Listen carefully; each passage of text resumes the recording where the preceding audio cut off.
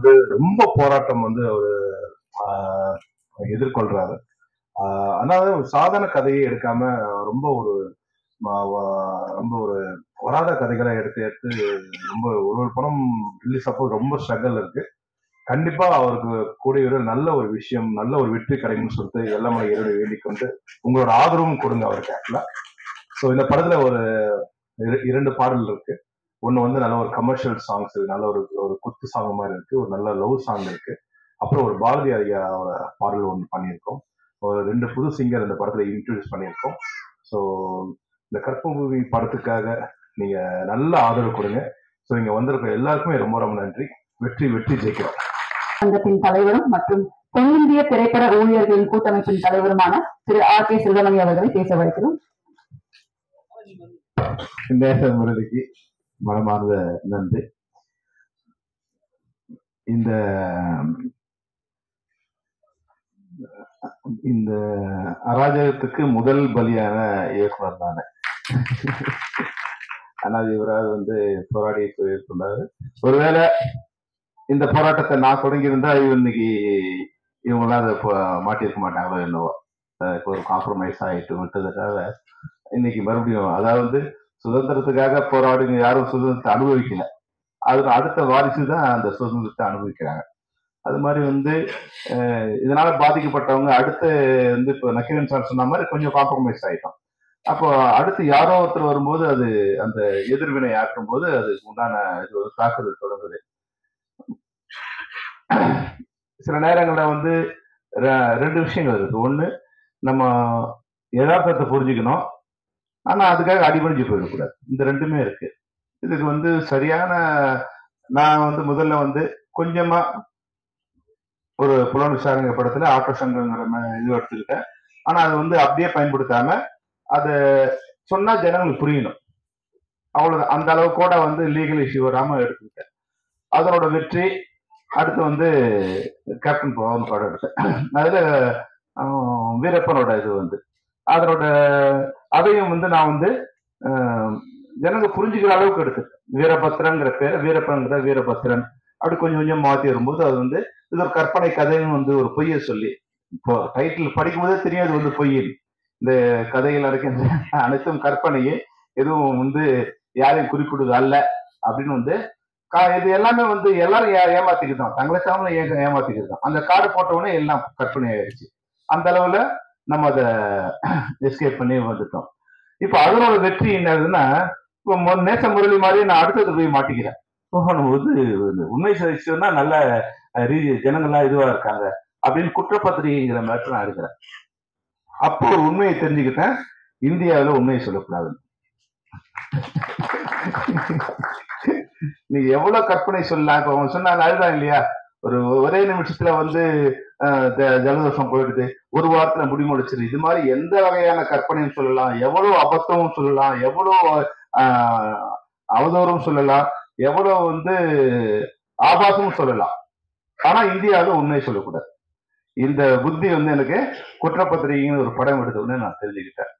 அப்ப அடுத்து அது அதுல போராடக்கூடிய சக்தி எனக்கு இல்லை. அதனால நான் வந்து அதுல இருந்து கொஞ்சம் ரிலீவ் ஆயிட்டேன். அப்போ ஒரு அதுக்கப்புறமா நான் யோசிக்கும் போது இது மாதிரி படைப்பாளிகள் வந்து அது பின்வாங்க கூடாது ஆனா இவங்களுக்குலாம் வந்து சரியான முன்னுதாரணம் எதுன்னா நம்ம திராவிட இது வந்து ஒரு முன்னுதாரணமா எடுத்துக்கணும் எப்படி வந்து பராசக்திங்கிற ஒரு படம். அண்ணாதுரை வந்து அந்த பேருந்து அண்ணாதுரை சொல்லுவாரு வந்து எனக்கு வந்து சென்சார் இல்லைன்னா மூணு படத்துலயே நான் வந்து திராவிட நாடு வாங்கிடுவேன். ஆனா அதே சென்சார் வச்சுக்கிட்டு அவங்களோட கருத்துக்களை வந்து எப்படி வந்து அவங்க ஷேர் பண்ணாங்க இந்த த- தமிழ்நாட்டுல அது மூலம் எப்படி ஆட்சி அதிகாரத்தை கைப்பற்ற அளவுக்கு திரைப்படத்துறையை எப்படி பயன்படுத்தினாங்க அப்படிங்கிற விஷயத்த நம்ம வந்து நேசமொழி வந்து அதை எடுத்துக்கணும். அதாவது வந்து கல்லுன்னு தெரிஞ்சு அதை தலையில அடிச்சு அடிச்சு த- தலை தான் உடையும் தெரிஞ்சாலும் அடிச்சுட்டே இருப்பான்னா அவன் வீரன் சொல்ல முடியாது. அவன் வந்து ஆஹ், புத்தி இல்லாதவன் தான் சொல்லுவேன். அப்போ அந்த கல்லை உடைக்கிறதுக்கு தலையை பயன்படுத்தக்கூடாது சிற்றூலியை பயன்படுத்தணுங்கிற தெளிவு நமக்கு வந்துடணும். அப்போ இதுல வந்து இவர் சொன்னது ஒன்றும் ஒரு பெரிய விஷயம் இல்லை. இப்போ வந்து நீங்க பாருங்க நடந்த விஷயம் தான் பொள்ளாச்சிங்கிறது எல்லாரும் தெரியும். ஆனா அதை வந்து நம்ம ஒரு புரிஞ்ச புரியாம மாதிரி சொன்னா ஜனங்களுக்கு நீங்க வந்து கற்பனையில வந்து நூறு சதவீதம் வந்து உண்மையை விட அதிகமா உணர்ந்துப்பான் கொஞ்சமா நம்ம சொன்னாவே போதும். ஆட்டோ சங்கர் நான் ஆட்டோ தர்மான்னு பேர் வச்சோம் அவ்வளவுதான். அப்ப அவங்களே புரிஞ்சுட்டான் நம்ம போய் நிறைய ஆட்டோ சங்கர் வைக்க வேண்டியது லீகல் இஷ்யூஸ் வருது. வைக்கும்போது அந்த கேஸ் முடியல அதனோட வாரிசுகள் பதில் சொல்லணும் இதெல்லாம் வருது. அப்ப கொஞ்சம் அதை ரெப்ரசன்ட் பண்ற மாதிரி இருக்கு ஒரு உண்மைய உண்மையை ரெப்ரசன்ட் பண்ற மாதிரியான வார்த்தைகளை பயன்படுத்தும் போது அது சட்டத்திலிருந்து வெளியே வந்ததுலாம் நம்ம அதை பயன்படுத்த முடியும். அது மாதிரி ஒரே நேரத்துல எல்லாரையும் பகச்சிக்கிறது இருக்கு இல்லையா? அந்த எல்லாரையும் பகச்சிக்கிற அளவுக்கு நமக்கு சக்தி இருக்கா? அப்படின்னு நேச முரளிக்கு எல்லாரும் இன்னும் எல்லாரையும் பகச்சிக்கிறது. மணிப்பூரை பத்தி சொல்லுவேன் நான் பொள்ளாச்சியை பத்தி சொல்லுவேன் ராணுவத்தை பத்தி சொல்வேன் அப்படின்னா விளம்பரத்தை பத்தி சொல்வேன் இவ இவங்க தான் ஆட்சி பண்றாங்க. இவங்க தான் சட்டம் இவங்க தான் கட்டமைப்பு. இதுல வந்து ஒரே நேரத்துல அனைவரையும் பகைத்துக் கொள்வது வந்து ஒரு சரியான படைப்பாளிக்கான ஆஹ், இதுவா இருக்கு. அதனால நிச்சயமா உங்களுடைய வீரியம் நிச்சயம் உங்களோட கோபம் எல்லாம் உண்மை. அதை எப்படி வந்து சரி பண்ணி எப்படி வழிமுறை நடத்தணுங்கிறத நீங்க புரிஞ்சுக்கணும். ஆனாலும் இதுல வந்து தரப்பட்ட அனைத்துமே இப்போ வந்து இந்த விஷயத்த குறைஞ்சபட்சம் இது மாதிரி நம்ம பண்ணா எல்லாம் அட்ஜஸ்ட் பண்ணி போயிட்டாங்க. பொள்ளாச்சியில வந்து ரெண்டு வருஷமா அட்ஜஸ்ட் பண்ணி போயிட்டாங்க. ஆனா ஒரு நாள் போலீஸ் ஸ்டேஷன் வந்துட்டாங்க அந்த உண்மை வெளியே வந்துருச்சு. அது மாதிரி சென்சார் போர்டு கூட வந்து எங்கேயுமே அராஜகம் அதிகமாகும் போது அதுக்கான புரட்சி அதிக தொடங்கிடும். அது கொஞ்சமாகவும் விநாசகால விபரீத புத்தி வரும். அந்த விநாசகாலம் எப்போ வரும்னா விபரீத புத்தி அதிகமாகும் போது அந்த விநாசகாலம் வரும். உண்மையாக வந்து தேவையற்ற அடக்குமுறைகளை வந்து படைப்பாளிகள் வரும்போது நான் செத்தாலும் பரவாயில்லன்னு ஒருத்தர் நினைச்சிட்டானா அவன் எந்த ராணுவத்தை கொண்டும் அடக்க முடியாது. இந்த சட்டத்துக்கு பயந்து நான் வாழணும். இந்த சட்டங்களுக்கு பயந்து நான் வாழணும்னு நினைக்கிற வரைக்கும் தான் போலீஸ் ராணுவம் அதிகாரம் ஆட்சி எல்லாம்.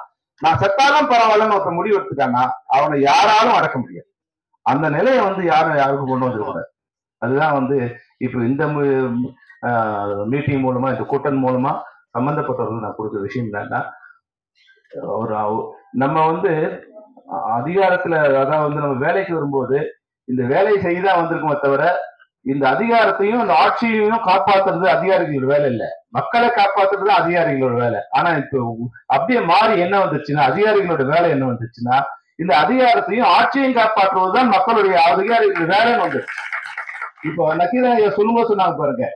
எந்த எஸ்பி வந்து பாலியல் இதுல வந்து அஹ், மாட்ட போறாங்களோ அவங்களே அந்த பாலியல் இதுக்கு வந்து முதல்ல துணையா இருந்திருக்காங்க.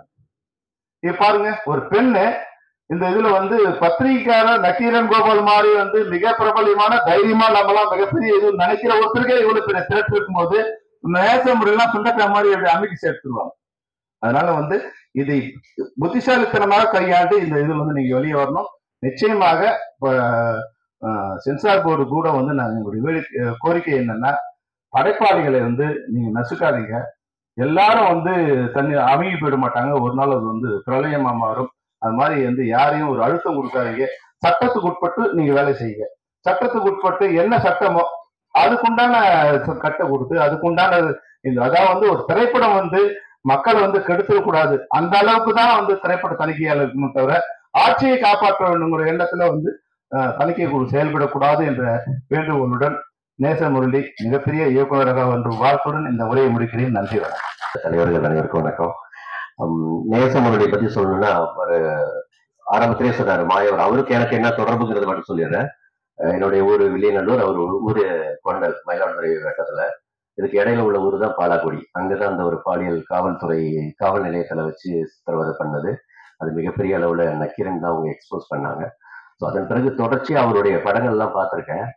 ஆஹ் ரொம்ப ஒரு கொந்தளிப்போட இருப்பார் அவர். எப்ப பார்த்தாலும் அவர் கம்யூனிஸ்ட்ல சேர்ந்தல அவர் பேசுறது எல்லாமே பாத்தீங்கன்னா இதை விட அரசியல நல்லா வருவார் அப்படின்ற மாதிரி தோணுது. அவ்வளவு புள்ளி விவரங்களை வந்து பத்திரிகையாளர்களை விட அதிகமா வச்சிருப்பாரு போல இருக்கு. ஒவ்வொரு கட்டியும் எடுத்து வச்சிருக்கிறார் பேப்பர் கட்டியும்.